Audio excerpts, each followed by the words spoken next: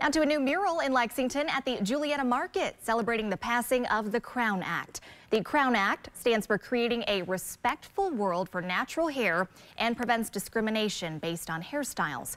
Representative Attica Scott has introduced the Crown Act multiple times and managed to garner bipartisan support for it last year, although it wasn't able to get floor time. It was passed in Louisville and Covington. The Crown Act describes this type of discrimination as disproportionately affecting black women who are 1.5 times more likely to be sent home from work because of their hair. It should just be a, a, a natural thing. Why would natural hair not just be natural, you know? So it's a natural step that, uh, but unfortunately we're here and uh, we hope to get it passed in Lexington. The mural was created by artist Linda Turley and funded by the National Partnership and also LexArts.